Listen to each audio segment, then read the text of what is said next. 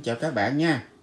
Chúc các bạn ngày mới sức khỏe dồi dào ha, tràn đầy niềm vui và hạnh phúc nha. Rồi, ok các bạn ơi, bữa nay mình mới đi chợ về ha. Đó, thì các bạn thấy đây, nó còn cái mùi xương của tủ lạnh trên hai cái bịch sò điệp này ha, mình mới mua về. Nó thì bữa nay mình đi chợ mình thấy nó mới về cái hàng này rất là tươi rất là ngon. Ha cho nên à, mình có mua hai bịch. Đây là sò điệp Nhật Bản. Đó. Thì bữa nay mình sẽ mua hai bịch sò điệp này về mình sẽ nướng mỡ hành đậu phộng. Ha, để làm vài chai chơi cho vui. Rồi sẵn nha mình chia sẻ với các bạn luôn. Nó, ha đây là sò điệp. Các bạn mua thì mình nghĩ là chợ nào cũng có nha. Đó, ha sò điệp không biết ở trong này nó có mấy con. Rồi ok ha mình sẽ chuẩn bị mình cắt ra rồi mình đi rửa cắt ra nè. Đây mình coi nó cũng rất là thịt rất là nhiều nha các bạn. Đó ha thịt rất là nhiều. Nó bây giờ một dĩ như vậy là được 6 con. Mà con nào con nấy rất là bự nha các bạn. Ha nó ok rồi bây giờ mình sẽ chuẩn bị đi rửa. Ha với lại rượu với lại muối thì bây giờ là mình đã rửa sạch sẽ hết rồi ha. Đó thì mình rửa sạch sẽ cái này á, thì các bạn rửa nó có cát ha các bạn rửa cho kỹ một chút xíu ha. Các bạn rửa với lại muối với lại à, rượu ha cho nó thơm tho sạch sẽ đàng hoàng.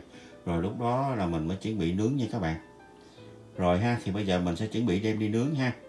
Đây hai dĩ mà mình mở ra mình thấy cũng rất là nhiều. Con nào con nấy cũng mập nha các bạn Ờ, bạn thấy không? Con nào con nấy mập ú à? Đó ok. Hai dĩ.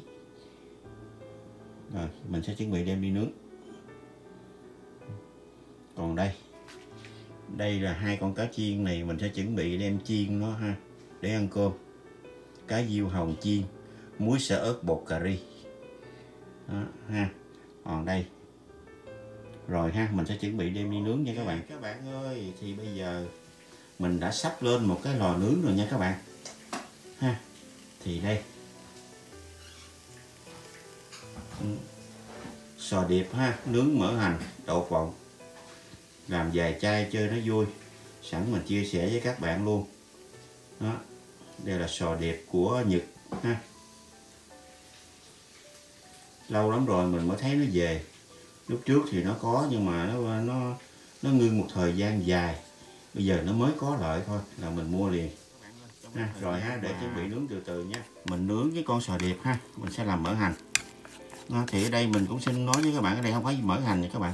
Đây là dầu hành tại vì mình không có ăn mỡ được đó mình sẽ sử dụng dầu không à. Ha cho nên đây là dầu hành. Ok các bạn ơi. Thì hồi nãy giờ hay là mình nướng được 5 phút rồi ha. Đó. bây giờ là chưa có mỡ hành đậu phộng mà nó đã thơm phức rồi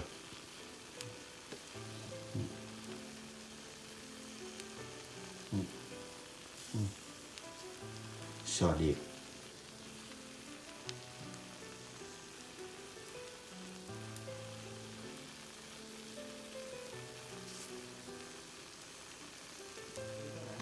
Thì bây giờ á, là cái con sò điệp này nó cũng sắp sửa chín rồi. Ha, thì bây giờ mình sẽ tha mỡ hành lên ha. Mình tha mỡ hành lên xong rồi mình nướng một hồi nữa. Nó như vậy nó cho cái mỡ hành nó thấm vô trong cái con sò điệp. Ừ.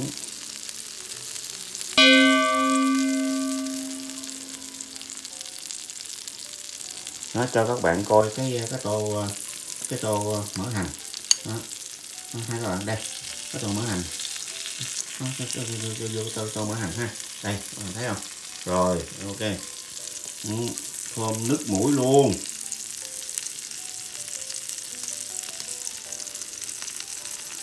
Uhm, nổi. Thơm phức các bạn ơi. Rồi ha. Rồi các bạn để nướng thêm một chút xíu nữa cho cái mỡ hành nó thấm vô trong cái con sò điệp.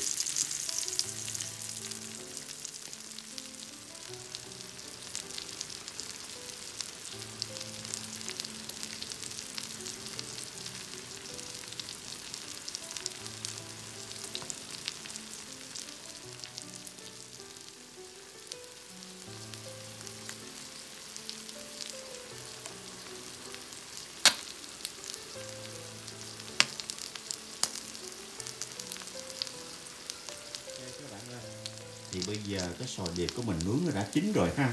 Thì bây giờ các bạn sẽ bỏ thêm mỡ hành. Nó một lần này nữa là coi như xong luôn nha các bạn. Hồi nãy là nó đã rút vô trong cái con sò điệp hết rồi ha. Bây giờ các bạn bỏ lại cái mới. Thì trong đó các bạn cho nó xin một chút xíu, một, hai cái miếng tép mỡ. Nó là để vô miệng một cái rồi là coi như tê tái luôn nha các bạn. Là chạy tới đâu là biết tới đó đó đó cái này là các bạn có thể là uống với lại bia ha hay hoặc là uống với lại rượu đế cũng được cái mồi này nó không có kém nha các bạn uhm. Uhm. chịu gì nổi thơm phức luôn uhm. sò điệp nướng mỡ hành đậu phộng ha rồi, bây giờ thì các bạn bỏ vô dùng cho mình. Đậu phộng nha.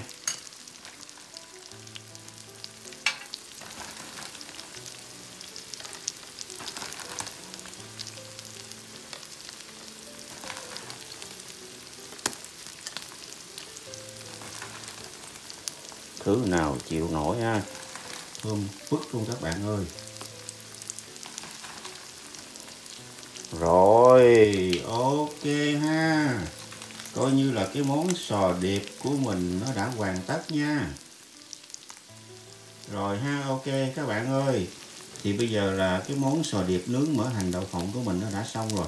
Nó đã hoàn tất rồi. Ok ha, thì mình làm thế đâu?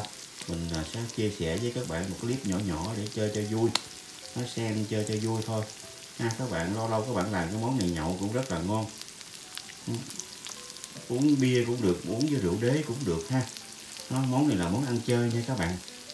Nó rất là thơm ngon. Rồi ha. Ok, mình là xin phép chào tạm biệt các bạn nha. Mình là xin kính chúc các bạn được dồi dào sức khỏe ha. Dạng sự như ý ha. Các bạn gặp được nhiều điều may mắn trong cái cuộc sống. Ha. Đó, lâu lâu các bạn làm cái món này nhậu cũng rất là ngon. Đãi bạn bè rồi uống vài chai bia rồi chơi cho vui rồi, ok, mình xin phép chào tạm biệt các bạn. Bye bye các bạn nha.